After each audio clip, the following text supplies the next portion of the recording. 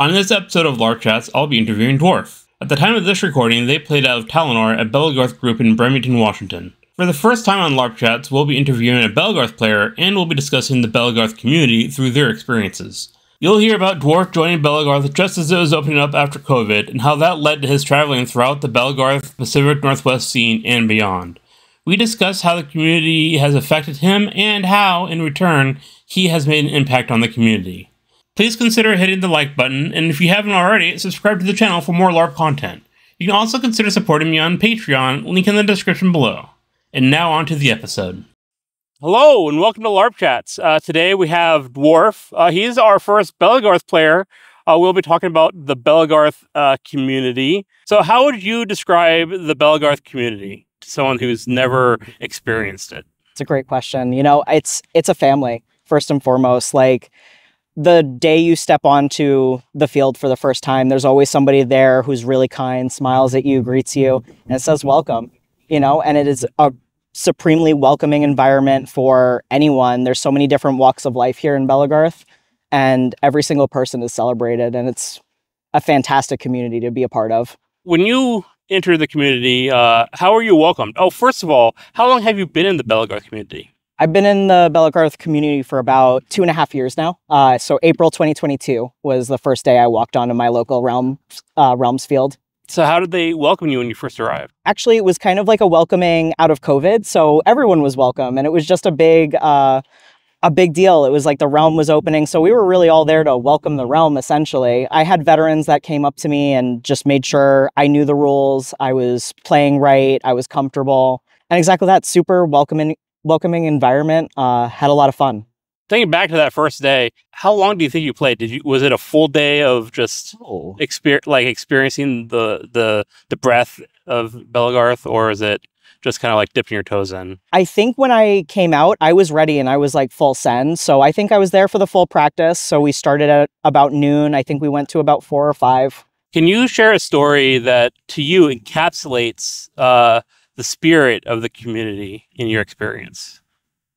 fail learn. This there's so many. Uh this question oh there's so many good ones but i have to tell the story about my recent uh eventing experience at phoenix rising which was in king city california. And i was doing a security shift so i was doing about four hours of just walking around and like making sure the nightlife folk were doing good things you know um, all vibing well being safe that meant I was still a part of the action, though. I was still taking part, wasn't getting inebriated or anything, but for the best, I usually don't. There was so much going on at Phoenix Rising where I got involved in a Jenga tower game with Oreos, and we were just stacking Oreos. And the game got like super crazy. There was this young kid who was just like, Hey, I've got this whole package of double stuffed Oreos and I don't want to eat them all. So you're going to help me. And I'm like, okay. And then there was like me and Cypress and um, a few other people got involved and we're just like, all right, what's the game? And he takes like a little like empty plastic shot glass, uh, sets it like narrow end up. And he's like, we're going to play Jenga with these Oreos and whoever makes the stack fall eats the entire stack. I'm oh like, oh my God. all right, I'm here for this degeneracy. I'm just like, whatever, who, who cares? We'll have fun. So we play this game and it actually goes. I have a picture of the Jenga stack. It was huge. It was like a sleeve and a half of the package was this Jenga stack of Oreos. And it just got more intense with everybody else doing it because there were so many people like kind of like flocking in, being like, oh yeah, I want this Oreo. No, you got to put it on the stack. What? Oh, that's what we're doing? Crazy. And like basically the entire event ended up taking part of this, even if like there were only like five original players or whatever. But like everyone was just kind of like, oh, what's going on here? Oh, okay, we're, you know, doing the thing. All right. And in the background, though, I have to mention also there's guys in um like some of our guys are just wearing those pink like suits or whatever, where it's like the big Slender Man costumes. I don't know how else to describe them, but they're just all pink. And they're giving out hot dogs straight from their belt flag pockets. and I'm like, this is like the most bizarre nightlife experience I've ever had, but this is the community coming together to do all these bizarre things at once. And we're all here for it. So that was just a super great night. Super weird, like I said, but it was super Belegarth. oh, yeah? Yeah. You say that's Belegarth. Why is that Belegarth? Why is that Belegarth? If you can. Um... Oh, I can absolutely. Okay. So Belegarth is where, like, you know, the community is so unapologetically themselves. We're weird and we don't pretend to be anything different. Oh, and that's, I go. think, the best way I can encapsulate that. good story. So, in your experience, how does the community handle conflicts between members in the group? Honestly, I think Belegarth needs a little bit more um, work sometimes on their conflict resolutions, but I think it's because it's a completely individual circumstance, right? Because, you know, when confrontations happen on the field, it's really just an A B kind of thing. And it's kind of like, what are their dispositions and personality types? And what is the Herald's also personality type in dealing with these conflicts? And that can vary so much.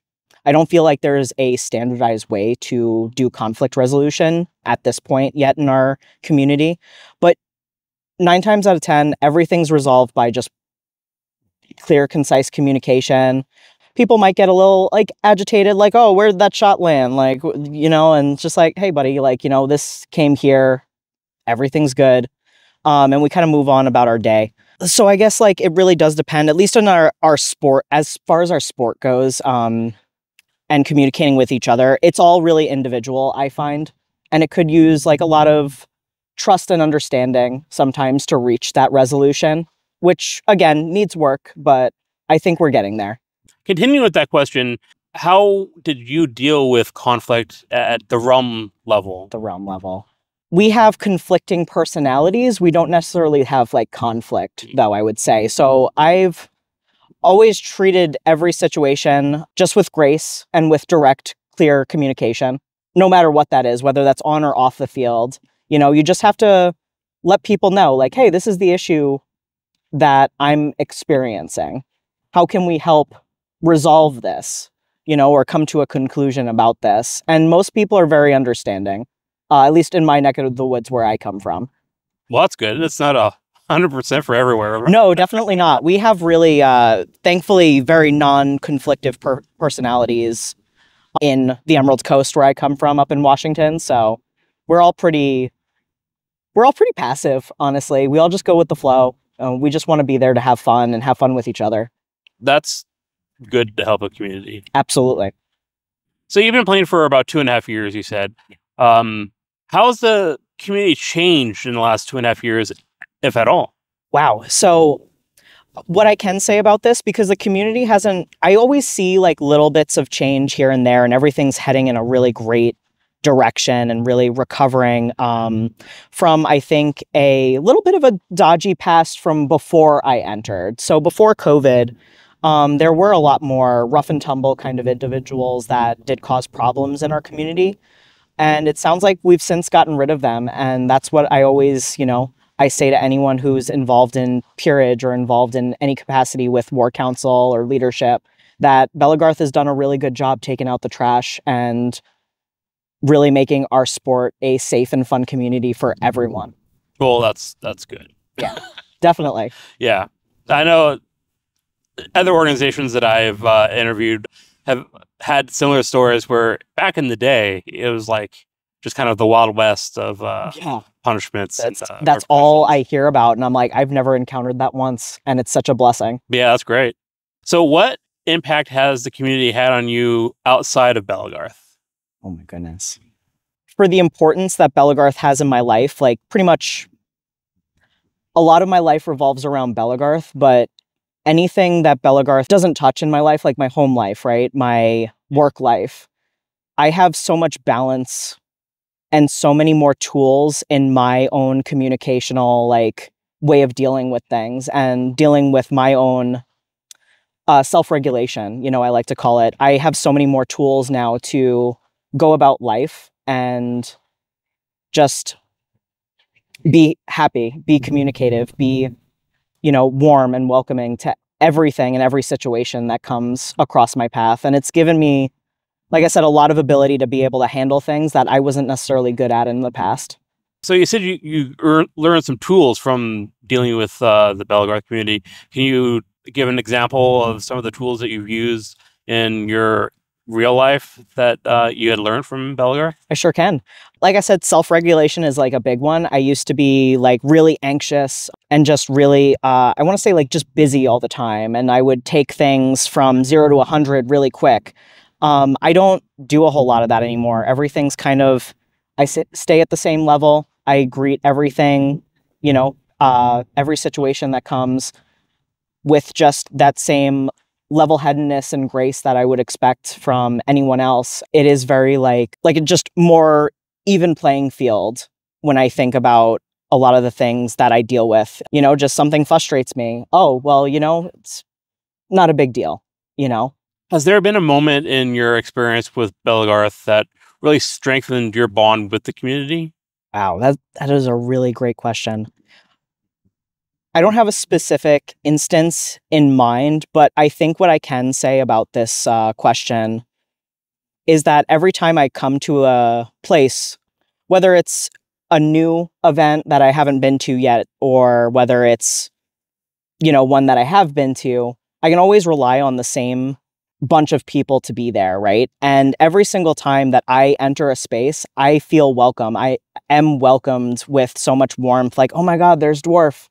Like, we're so happy to see you. Thank you so much for coming out all this way or uh, this way, you know, wherever I am. And every time that I'm greeted by somebody in our in our community, I just I just have that like that heartstring pull. Like this is where I belong. Hmm. And that's really important to me. So just being welcomed every time you're uh, welcome into the community, every time you go, Absolutely. it strengthens the bond just by being there. Yes, exactly. That's pretty powerful. It is. It's extremely powerful. You've done a lot for the community in your two and a half years.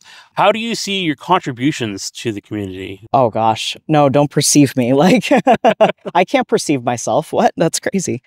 No, I think that's a really good question.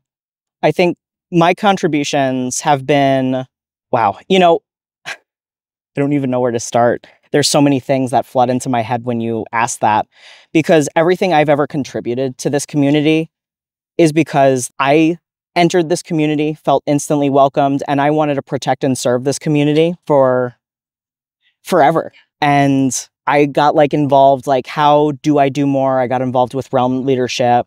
Um, I helped fix some things like in my realm, in my realm area. And then I, you know, made a big time, like, or say big time. It's, you know, it Trials of the Pacific Main has gotten a lot more traction than I ever expected.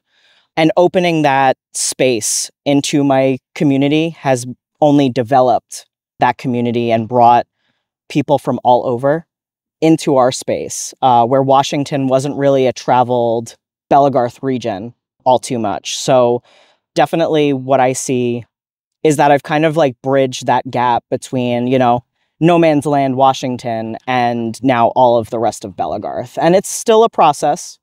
You know, everything is a work in progress. Everything, everybody else in Washington, you know, I hope is inspired to go to more events. I see a little bit more people going to events and starting to uh, take part in things and participate it needs a little bit of work, but because I think of my contribution to my local community, I can definitely say that a lot more people in Washington partake with B- Belegarth as a whole and not just Washington Belegarth. That's pretty big. Yeah. Uh, that's that's Thank a you. regional thing. Yeah, um, definitely. So, in your experience, and I'm going off on a little tangent, would you say that a lot of what you've done is facilitating communication? Absolutely. Um, Networking is huge to me. Um, how, do you think that has impacted uh, your service? I think um, it all started when I just I hit a bunch of events and I got in touch with a lot of people and a lot of people, you know, um, I got invested with the community. The community got invested in me, and I think that communication and that networking has helped huge, uh, very largely for then my success with Trials of the Pacific Main and Washington as a whole because now Washington's essentially a part of that network. Yeah. You were telling me, um, like when you first started, you traveled more than a lot of people would probably right. travel in the first year or two. uh, can you just kind of like do a quick rundown list of kind of like some of the locations that you hit in your first year? Oh, absolutely. Just so people can understand the the breadth of your communication efforts that you. Yeah, I mean, into. all adjoining states in Washington, uh, to Washington, I should say. So that's Oregon um, through Western Wars, California through BIFTR, uh, Battle for the Ring, for those not familiar. I, I hit a lot of Idaho events. So Chaos War, or not Chaos War was my first year, but a lot of um, other. I guess at the time, since we were coming out of COVID, there were a lot of different Idaho events that had popped up. So I hit a lot of those. I hit um, a new Montana event, War of the North. I can't say this was in my first year, but I did get like um, networked with uh, Las Vegas through Fool's Raid. Um, so really, basically, the entire West Coast, I've kind of been traveling around and just you know having fun and getting to meet everyone. Like I said, in the entire encompassing Belegarth community. Yeah, that's pretty. That's pretty big. Um, yeah. There's a lot of travel. Yeah, I think ten events the first year. I think I hit eleven this year. So that is it's a it's a lot, um, definitely, and it's the list is always growing, and I'm always like, oh no, I don't know if I can do any more than like ten events this year. What do I do? You know, just wait so- until you start cross gaming. I know, and that's the thing too. I have to start cross game, or not that I have to, but I want to start cross gaming um, with uh, like the Northern Lights uh, Kingdom uh, next year, and start doing a lot of things in my local region, and start you know doing a lot of that. And I think that would be really cool. Um, but yeah, it's a lot of events, and there's only so many weekends, is what I learned this year, and it's really unfortunate, but it's a it's a challenge that I'm willing to accept and take on. Well, if you end up going to one of the the campouts up in Washington, let me know and I'll help facilitate and introducing you to people and stuff. That would be great. So- I would love that. So, what kind of challenges do you see the community facing, and how do you think that they can overcome them in the future? I think a lot of my focus uh, this year and a lot of my challenges this year uh, was scheduling events uh, between event coordinators to kind of um, utilize the best portions of each region's geographical climate and obviously where they fit in on the calendar. Um, we got super congested in a few different por- parts of this year, and then all of July there was like nothing going on. So it was like, oh wow, it would have been nice if something was over here that would have been able to accommodate it because then there was also uh, just a little bit of conflict, I guess, between Trials of the Pacific Main and like uh, two different Montana events. And I had gone to one of them, and Montana was like super hot.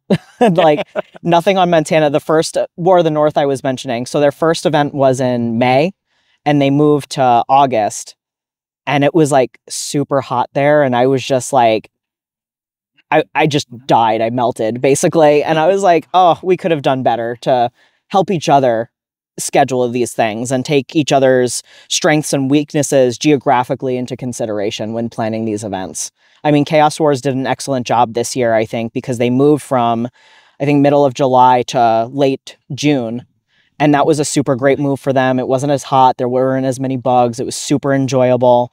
But then that made everybody else shift like, oh no, like panic mode. Where are we going? Where's our where's our calendar re- real estate, right? So we can definitely probably recover a little bit better next year and hopefully talk more between event coordinators to kind of say like, oh hey, you know, I'm thinking about this or I'm thinking about that.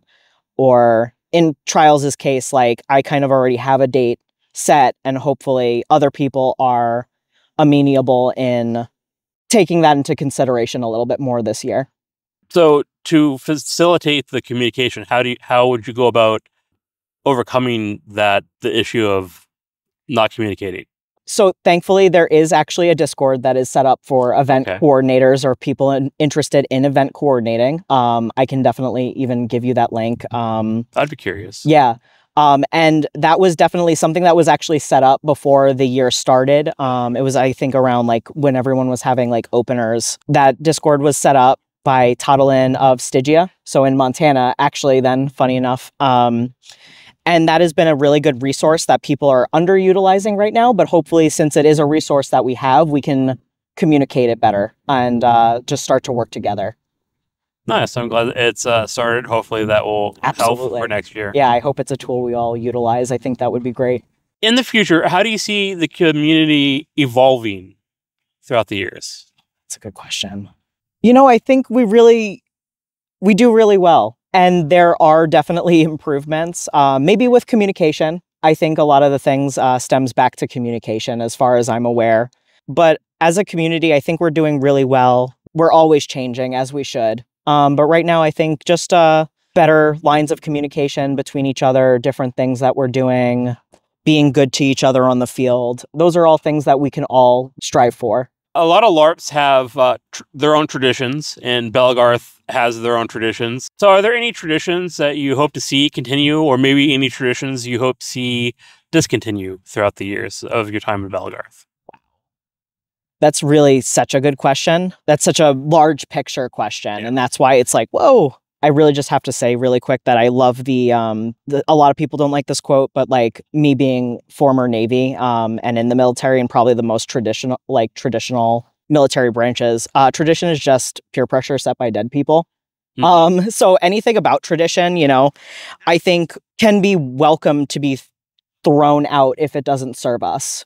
There are traditions that are great. Squires wearing white tabards. I'm not wearing mine currently. Um, but that is a good tradition, right? We, I was actually just talking with Sir Par about that um, just last night, and it's that's your Home Depot apron, is what he says, and I'm like, I really, I love that because you know, you can see somebody who is a prospective peer wanting to help others and see them from across the field. That guy's wearing white.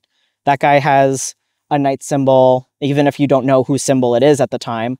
But that guy's wearing a symbol on his chest, wearing white. Uh, I should approach that person and ask for help with anything I might be going through or struggling with. So that's a good tradition, I think. Bad tradition, or at least a a tradition that doesn't serve us. There is a like a saying if it's like if they're not taking your shots, hit them harder. Mm. And I think that's it's better to communicate it than and that is a communication in, in its own sense but i don't think aggression meeting aggression is or not, at least that hyper aggression i think that leads to our blowouts on the field like hey yeah. man why are you hitting me so hard hey man what's going on like why are you you know pulling an attitude with me through all these shots and it's like no let's just communicate like hey did you feel that shot oh no that was actually like the tip end of my board blah blah blah you probably just didn't see it and it's all about perspective, right? Yeah. Uh, it's about perspective and good honor. And we have to trust each other to have good honor on the field. And definitely, like, I think the old way of like, yeah, just hit them harder if they're not taking your shots. I don't think that's very helpful for certain cases and for a lot of cases, actually. I completely agree. That is a commonality in other LARPs as well. They also of have, of course, I'm sure that saying. I'd also like to see go away. Yeah. So I'd like to thank Dwarf for coming on, our first Belegarth player for LARP Chats. Thank you for having me. Yes. Appreciate it.